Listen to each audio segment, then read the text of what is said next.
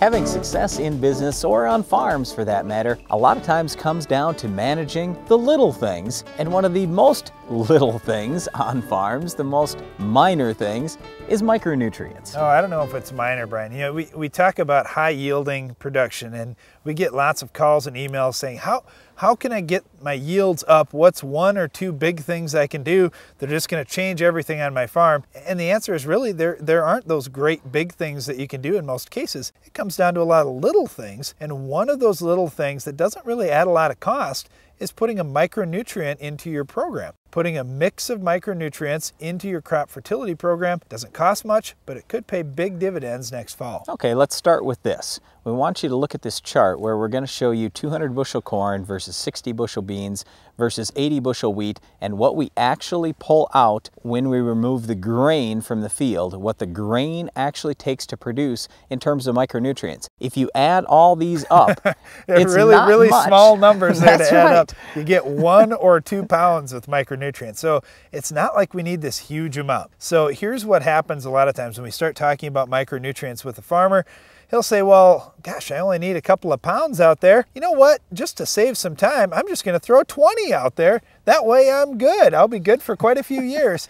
and that is not the way to approach micronutrients, especially if you're trying to pick one or the other. Real common mistakes we make are looking at one or two micronutrients in each crop that we can see a visual response from out in the field. Like in corn, we get a lot of farmers that like to put on some zinc in corn, and that's the only micronutrient they put on. In wheat, we've got a lot of farmers that like copper because it really makes that wheat look better out in the field. In alfalfa, we see a lot of guys putting on boron. It, we can go on and on. There's, yeah, but, there's one or two micronutrients in every crop that shows something. When you put that out in one crop, you have to remember, now you've got a whole bunch of zinc after your corn crop. If you're coming back with a different crop, all of a sudden you don't need all that zinc out there. What ends up happening is if you overdo it with one micronutrient, that could have an adverse effect on another micronutrient. It all comes down to a balance out in your soil. It's just like in your life. If you way overdo it on one particular thing, that's probably not good. You have to have an overall balance in your life. We need that in the soil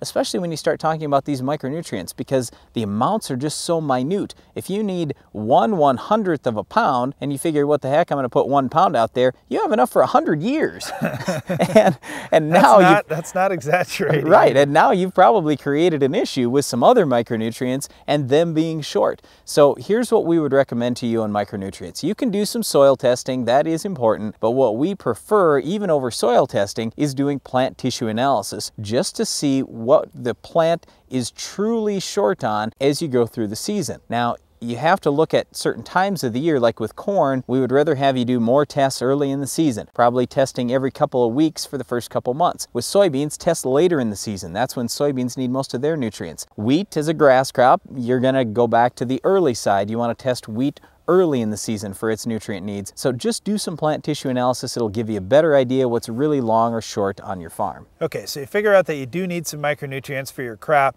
Now the question is, how are you going to put them out? For us, on our farm, we're primarily row crop farmers with corn and soybeans being a majority of our acres. With those two crops, you can do micronutrients right in the furrow. You have to check depending on which micronutrient product you're using, but with the micronutrient blend we're using, TGA Micromix, we can actually put that in the furrow. We're using a splitter, so we're shooting it out to the sides of the furrow so we don't have it right on top of the seed. And we're typically using a quart and a half Sometimes we'll use a little bit more in higher yielding environments. You can do micronutrients in a broadcast as well in crops like wheat or like soybeans, they can take advantage of a broadcast application of micronutrients. With corn, especially if you're talking 30 inch rows or wider, it takes a long time for those roots to get to the middle of the row and capture those micronutrients. Plus, in the middle of the summer, you end up drying out and, and it's really difficult to extract nutrients out of that top couple inches of soil. So we do really like the banded approach, whether it's banded deep with your strip till, eight or 10 inches below the seed, that's great. Or if you want to put it in the furrow, that can be fine too. The main thing in the furrow is just make sure that you're not getting it on the seed and I would blend it off with water or maybe a little bit of other fertilizer as well. On our farm we're using, using generally a gallon of 10-34-0, one and a half to two quarts of micronutrients, and then one to four gallons of water, depending on what the whole mix ends up being. We just want to try to dilute it out as much as possible and keep it in the furrow, still in a band, so we have less tie up of it. That seems to work pretty well. Okay, I got one more thing. Now, if you're a lawn enthusiast and you want to have the best looking lawn in your neighborhood, or if you're a gardener, and you want to have fantastic garden crops.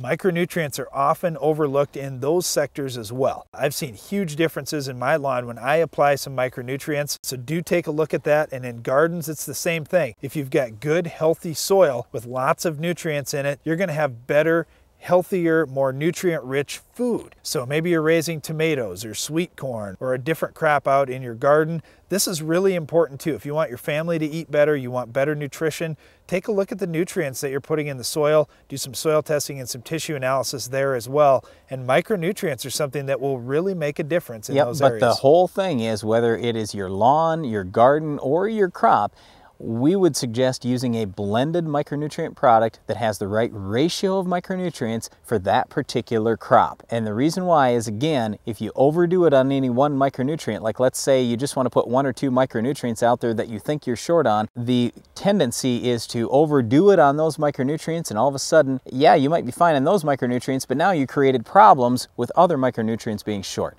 So again, we'd encourage you to use a blended product that's right for the crop you're planting. Well, micronutrients are tremendously important in your crop nutrient program. But another thing that's really important no matter what crop you're raising is good weed control.